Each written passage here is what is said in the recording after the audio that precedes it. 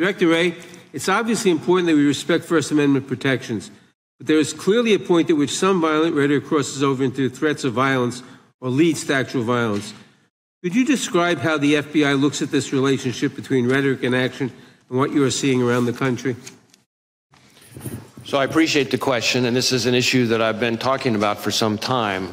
Uh, you know, in our view, there is a right way and a wrong way under the First Amendment to express your views, no matter how passionate or even angry you are. And violence and threats of violence is not the right way. And we don't care what you're upset about or who you're upset with. When, from the FBI's perspective, when it turns to violence and threats of violence, that's when we have to draw the line. That's when we get engaged. Uh, and there is an alarming phenomenon that we've seen over the last several years uh, of that kind of passion and heated rhetoric turning into actual violence and threats of violence. We've seen it uh, against public officials of all sorts. We've seen it against law enforcement. The number of officers shot and killed in the line of duty in this country is frankly outrageous and alarming. Uh, and I know that because every time an officer is shot and killed anywhere in this country, since the day I started as FBI director, I personally call the chief or the sheriff to express my condolences uh, and to talk to them about the, the victim's family. Uh, and the number of those shootings that are ambush related, meaning somebody is targeting law enforcement because they're law enforcement, is particularly alarming. I have made around 400 of those phone calls. It's almost every five days that a law enforcement officer is killed in the line of duty. And that is an example of the kind of ways in which uh, passions and heated rhetoric can bubble over into violence. Thank you. Members of Congress, their families, and their staffs have witnessed an alarming rise in threats against them. I appreciate the work your agency has done to investigate and address these threats, but I'm concerned that we do not seem to be stemming the tide. What is the FBI doing to ensure that members of Congress, their families, and their staffs are safe? So we have a, a very close relationship uh, with the Capitol Police. Um, and we have members of the Capitol Police, for example, who are on some of our task forces. We share intelligence information uh, about things that we're seeing, trends that we're seeing with Capitol Police uh, and others in law enforcement. Obviously, if we have specific information about uh, an effort to target a member of Congress, then we're getting with Capitol Police in a much more specific way. Uh, but those are some of the things that we're doing. Thank you. Now, Director, your office is leading the investigation into the attempted assassination of Donald Trump. Republicans in Congress, including members of this committee, have repeatedly called for defunding the FBI. What impact would defunding or even just limiting your funding have on the FBI's ability to conduct this and other investigations? So, I understand that there are heated views, opinions about us, just like there are about every institution in today's America. But cutting our funding is incredibly short sighted, and the people it really hurts are state and local law enforcement and the American people we're all sworn to protect. Thank you. During my remaining time, I want to turn to a different matter. In recent days, Republican members of Congress have attacked presumptive Democratic presidential nominee Kamala Harris as a quote DEI, DEI candidate, which presumably is code for women and person of color. It's not a new theme for them. In May, Chairman Jordan wrote to you claiming that because of DEI initiatives, the FBI is no longer hiring, quote, the best and brightest candidates to fill the position of special agent. With remaining time, with my remaining time, Director Wray, can you please answer the following questions? Is it true that hiring women and people of color means that FBI is no longer hiring the best and the brightest to serve as law enforcement officers? Is there any evidence that women and people of color are less effective in law enforcement roles? And what message does it send to prospective applicants when the leaders demean them and make judgments about them based solely on their race or gender? Witness may respond. So, any notion that we have lowered our standards, our hiring standards, is just not accurate. Uh, in fact, the, our standards are as competitive and selective as ever. We have tens of thousands of people applying, and our selection rate is about 3.1%, which is more selective than just about any university in the country.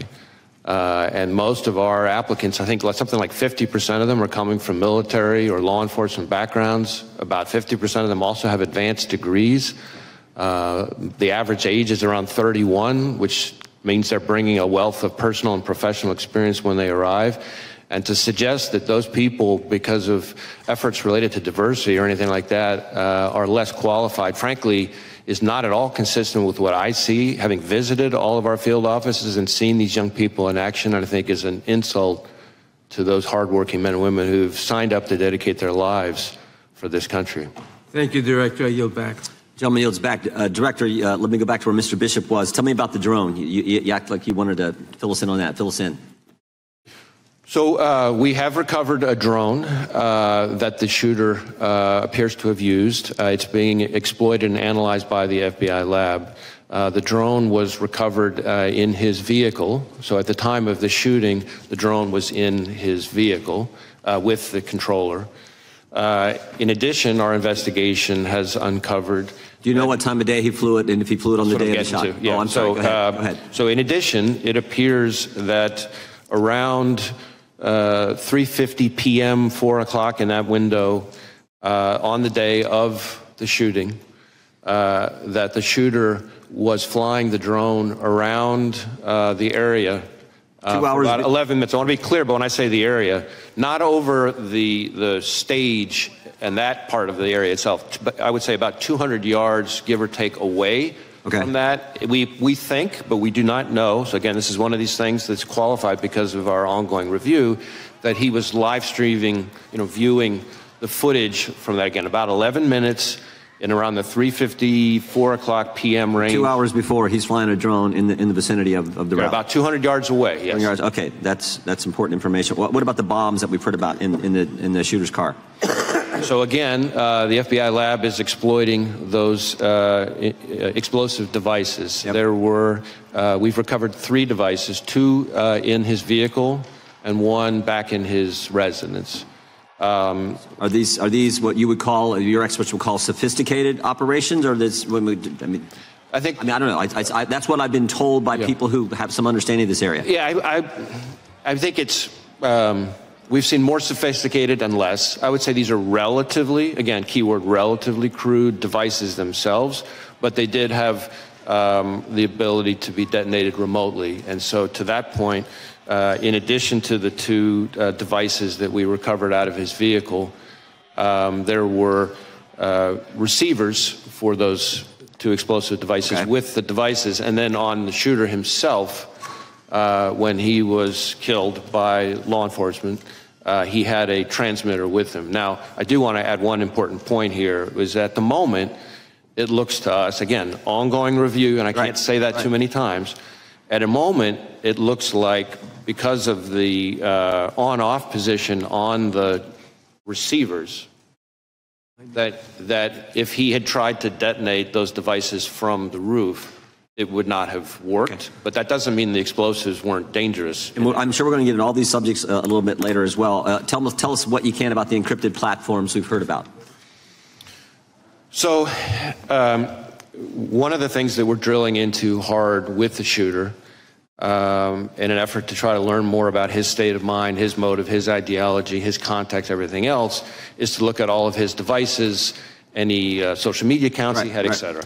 And uh, one of the things we've learned in finally getting into his phone, which was also a significant technical challenge from an encryption perspective, but in addition, once we got on the phone, it turned out he was using some encrypted messaging application.